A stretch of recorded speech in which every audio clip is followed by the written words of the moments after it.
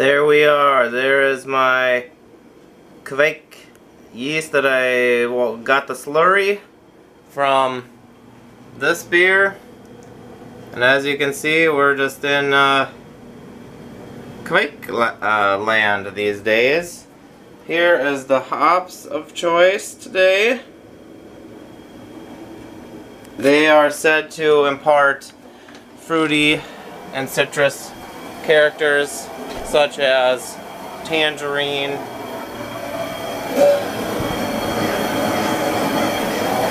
almost to a boil. Coconut is said for the Sabro, also cedar, mint, cream. Um, these, it sounds to me like it's maybe like mosaic where you get a, well I might have something on my lens, um, a mixture of different kinds of flavors and aromas. But then I'm goofing it all up by using the Sigmund Gjernes Kveik strain. Now, the fun thing about this today for me is you're said to only need a teaspoon of that slurry. So, I'm to try it. I'm to start with a teaspoon. As you can see, I have a lot more than that. I have another jar of it as well. So, if it's not going in maybe like a day, I can, I can uh, you know, add some more. But, it's going to be interesting. I'm doing the same grain bill as the Kveik IP except for without the little bit of the dehusked um, stuff to give it a little bit darker color. So basically it's 10 pounds of Arturo, 3 pounds of Chevallier. Simple. And here we go.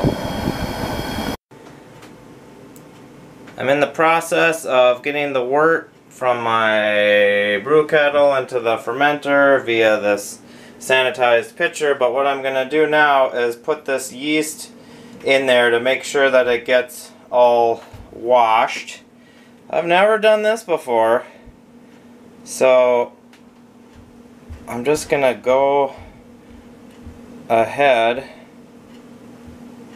and sorry I'm not I'm trying to that is like a a, a big uh, teaspoon so, let's see here.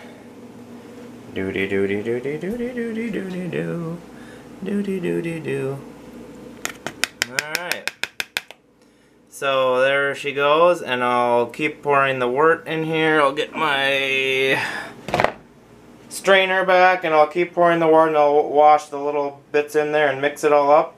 I cooled it down to about 90 I'm not gonna ferment it um, especially warm. I'm just gonna actually kind of maybe do it a little bit on the cooler side, and by that I mean 75, 80, to see if I get less yeast character out of this strain that's uh, very unique and, um, you know, uh, almost too unique. I mean, I, uh, I already have five gallons of the stuff on tap. I got this really interesting hop that I also want to see what it does so I might ferment it a little bit cooler for a Kveik strain and but yeah I'll be really curious to see if just that little bit of yeast gets it going and if so good lord I have you know 50 teaspoons in here and another jar like this too and you could always just collect it off of the next batch so you could see how it'd be really easy to keep it going if it's a strain that you like to use.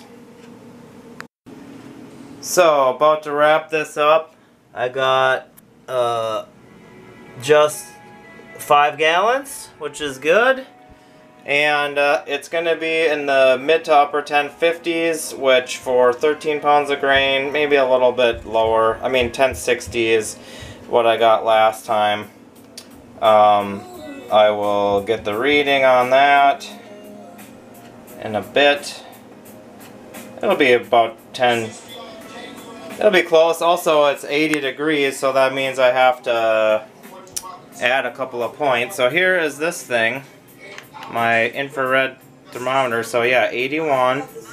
Interesting, it dropped a little bit more as it was sitting in the water. And so that is, you know, like almost registering on that um, thermometer, but I'll keep an eye on it. It'll hopefully be, you know, around that temperature. And yeah, I'll definitely keep you posted on how it starts fermenting. I thought I would check on this this morning before I go to work. It's been about 21 hours or so, and definitely is fermenting.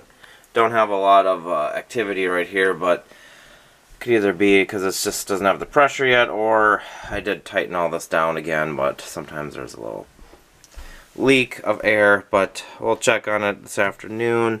The temperature, you won't be able to probably see it's uh, 74, 72, or even 70-ish. So, um, kind of cool, but uh, it's definitely doing something.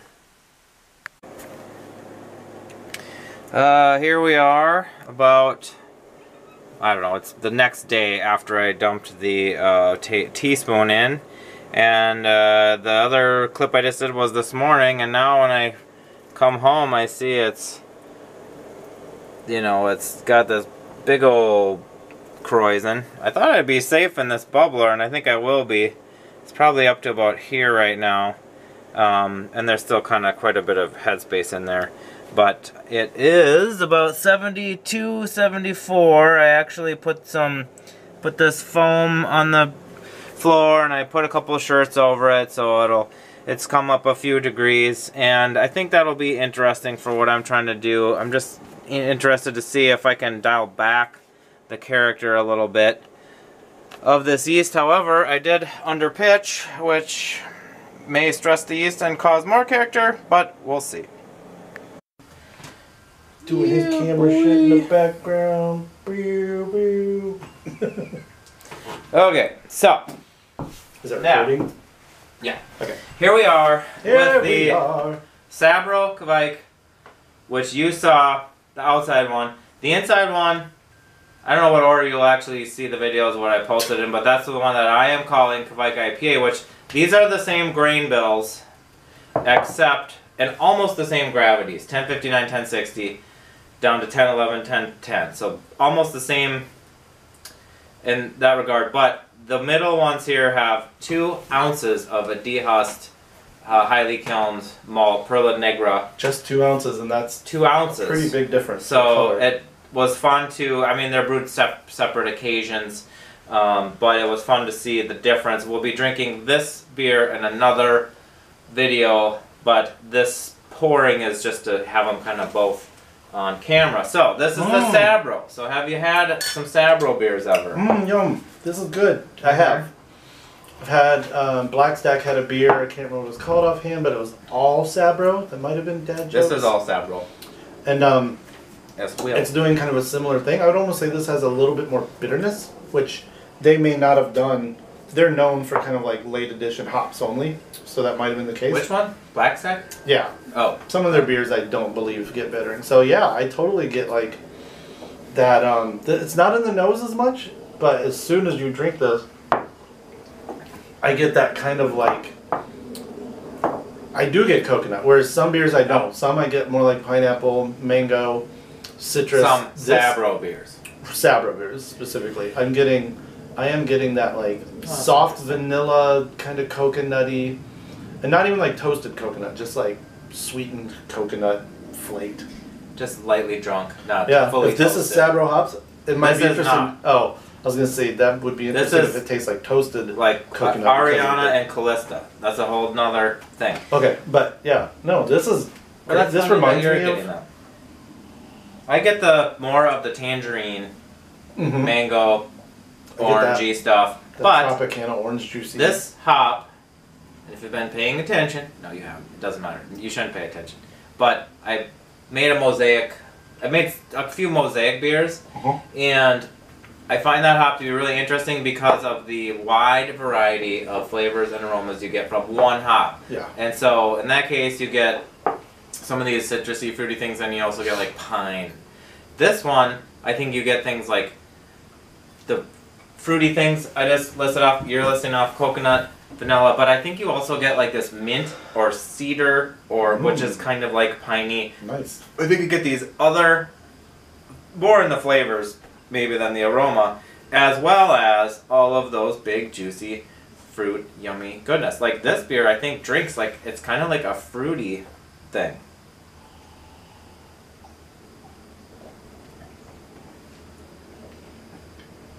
But here is the kicker. I used the Sigmund Gjernes Kveik yeast, which Slurry. in a previous video that we just revisited tonight, that beer is a little bit weird tasting. It's a little different. It's pretty tart, kind of orangey. This beer, I feel like, is probably, and uh, while I can't know this for sure, uh, showcasing the hops.